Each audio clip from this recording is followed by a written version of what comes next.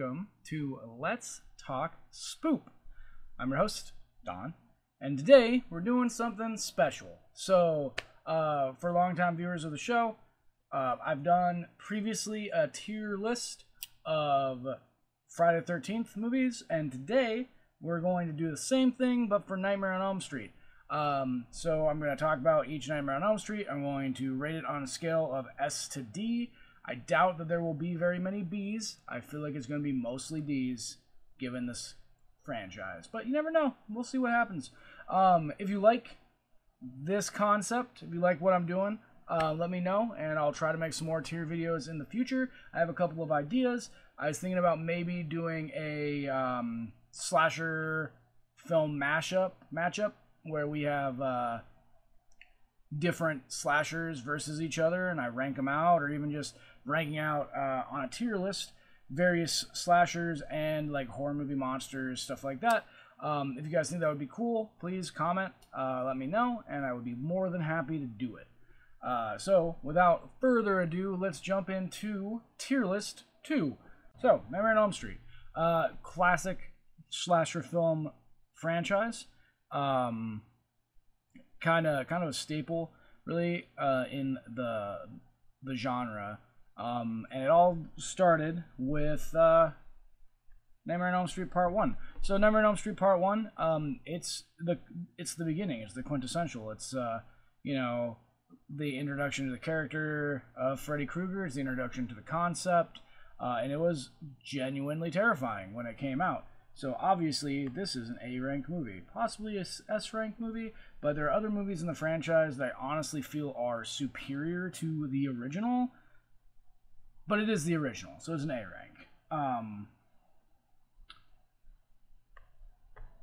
next, we have Nightmare on Elm Street Part Two. So, Part Two, uh, Nightmare on Elm Street Part Two is like Final Fantasy Two or The Legend of Zelda 2, where, unlike Friday the 13th, where part 2 really inspired the entire franchise, part 2 of Nightmare on Elm Street was an attempt to do something different, and it, it didn't work.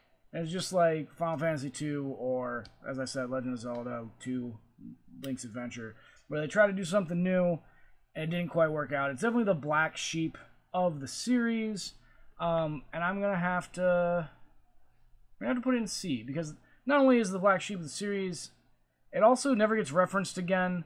Uh, none of the the plot elements that happen in it matter. Like in this movie, Freddy is trying to get a human body so he can go around killing people, but then the rest of the series, oh sorry, spoiler alert for a 30 year old movie series.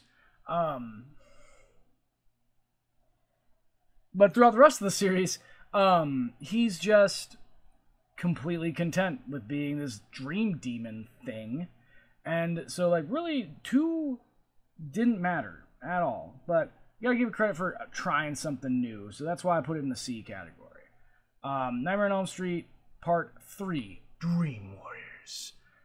Fantastic. Um, great concept, great execution. They brought back Heather Langenkamp from the first one, the gal who played Nancy, and she's now a psychiatrist and she's trying to help these kids. And they just so happen to also be fighting Freddy Krueger. Um, it is a great concept, very well done, um, and probably one of, if not the, arguably the best movie in the franchise. Uh, so this one goes in the S category because this movie is phenomenal. Um, although honestly, I don't know if it would make as much sense if you haven't seen the first one, but maybe. Uh, all right, Nightmare on Elm Street Part Four. Um, I don't know what to say about this movie. So they couldn't get Patricia Arquette to come back and play the same role as she had played in number three. So they just cast another blonde girl in the hopes that like you wouldn't notice. Um Yeah, so that's a thing. Uh, which I hate when they do that. And it's really weird because the two other surviving characters from part three um, came back. So like, but they couldn't get Patricia Arquette. I don't understand. And of course, Robert Englund came back because Robert Englund. But so there was that. Um, additionally, the end of three really felt like an ending. Like three, Freddy Krueger's mom's ghost shows up and tells you how to kill Freddy for realsies, and you get more backstory on like where he came from and like yeah, it just felt like a complete movie. And four felt like, oh, we can just make some more money out of this. So, not the greatest film. Um, that's gonna go down here into the D category. Um, part five.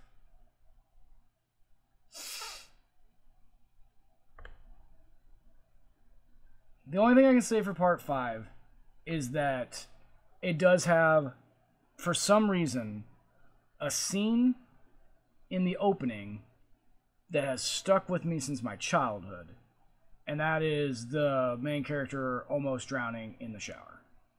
But other than that, like the shower door gets stuck closed and like it fills up with water. For some reason that's always stuck with me. I think it's because I had a shower like that when I was a kid. Um, but for some reason that one always stuck with me. But other than that, five is is worthless. Um, it's just a movie that they made. They did get the the returning two returning actors uh, from part four um, to return and do things, and that's that's about it. Um, I think so. I think the explanation in part four of why Freddy came back is because Patricia Arquette's character, who's played by a different actress in that movie, uh, has the ability to pull people into her dreams. So she kept, or she started dreaming about Freddy again, and so she pulled him back into reality, or something. It was weird. Um, there's also like really bad martial arts. It's just overall bad movie. And then five just kind of continued with the the overall bad movie ness. Um, I think five is no, well three three is the beginning of when Freddy Krueger starts to be like a wisecracker, and then four it like went more, and then five is really nothing but him making bad jokes. I think five has the one the kill where he turns the guy into a comic strip and then cuts him to pieces. This is terrible. This is just a terrible film. Um, moving on. So next we have Freddy's Dead, which was supposed to be the end of Nightmare on Elm Street. Um, if you can't tell by looking at the tier list, it wasn't. Uh, but um, had an interesting concept. Like the idea was that essentially Freddy killed every child in Springwood over a long period of time. And now he can't kill anybody anymore because he only wants to kill children. He doesn't go after adults, except when he went after Heather in part three. But that's beside the point. So now there's this town that has no children in it. It's all adults, and there's this teenager that like shows up in this um, like home for wayward youths, and he starts talking to a therapist there. Tells her about like that he needs to get back to Springwood, and so she takes him there. And the movie, uh, so it's an interesting concept. Um, that's it. The kills were all lackluster. Uh, it was a it was a movie intended to be in 3D, so like watching it in 2D is very jarring. Um, and then you get like the actual the actual death, quote unquote, of Freddy Krueger because it gets explained in four Dream Master. Wait, is that four or five? He's explaining one of them, uh, Dream Master, whichever one that's titled, uh, that Freddy um, got his powers uh, from these dream demons that just are evil and wanted him to kill people. And then at the end of Freddy's Dead, uh, he the the dream demons burst out of him and fly off, and so now Freddy's dead apparently. Uh, so if you can't tell by my talking about it, I wish I actually had a lower category on my tier list because five and six are that bad. They're just terrible films. Um, so now, complete paradigm shift. We move into Wes Craven's New Nightmare, which is a meta as hell film. The concept in New Nightmare, they bring back Heather Langenkamp. They bring back uh, the guy who played her dad. They bring in Robert Englund. They bring in Wes Craven because he made the movie. And the idea is, is that it's about Heather in the real world. And she's kind of getting weird dreams. And she's getting pressured into doing another Freddy Krueger movie. And she doesn't want to do it. But then, at the same time as that, these weird dreams start to manifest and become reality. And essentially, Freddy Krueger, but not Freddy Krueger, comes into the real world and starts killing people and doing things in the real world through her son's dreams.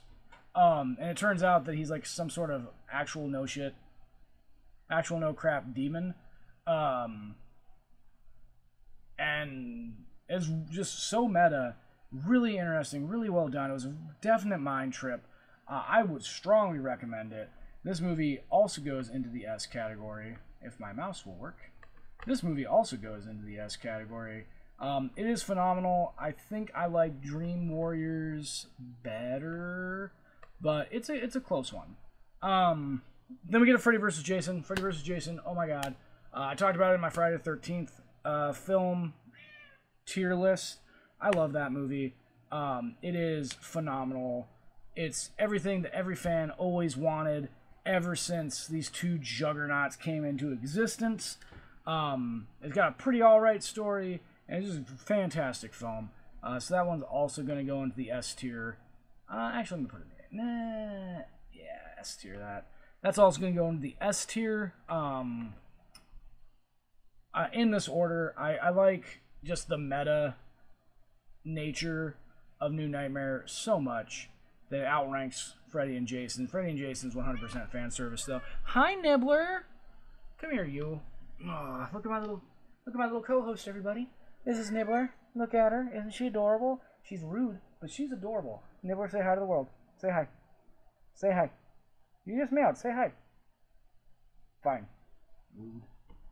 Anyway, um, cat hair in my mouth. Um, yeah. So Freddy vs. Jason is 100% fan service, and I love it for that, but it's not as good as Dream Warriors or New Nightmare.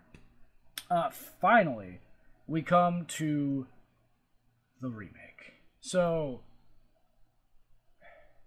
hot take. The remake is good. I know.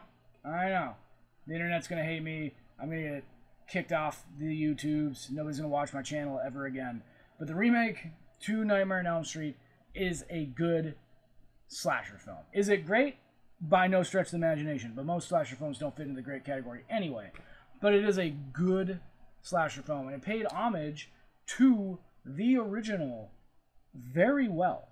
Um, they repeated classic scenes like the hand coming up out of the water, like it's gonna kill Nancy. Um, it has a, has a bunch of actors. They got they were fairly small actors at the time that became much much bigger after um, this film.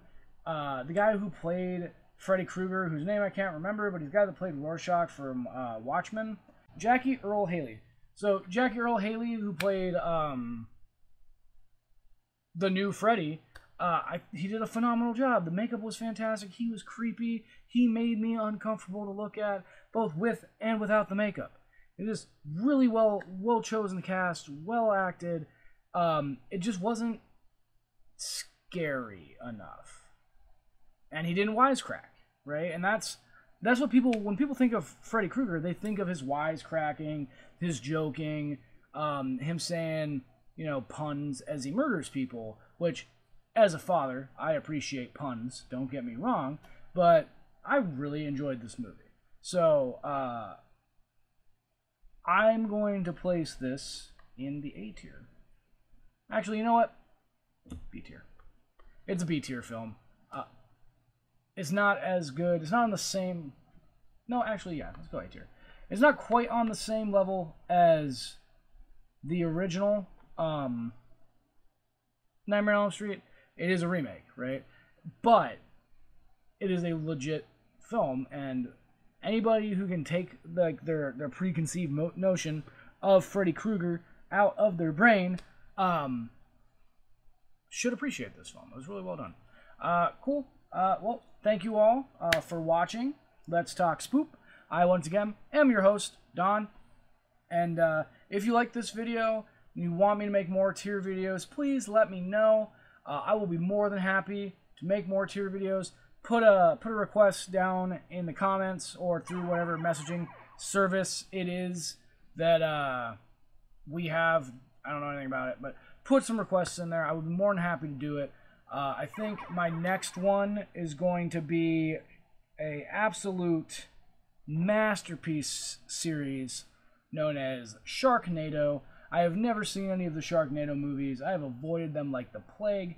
So much, very much looking forward to doing this tier list. Um, thanks for watching. Okay, thanks. Bye.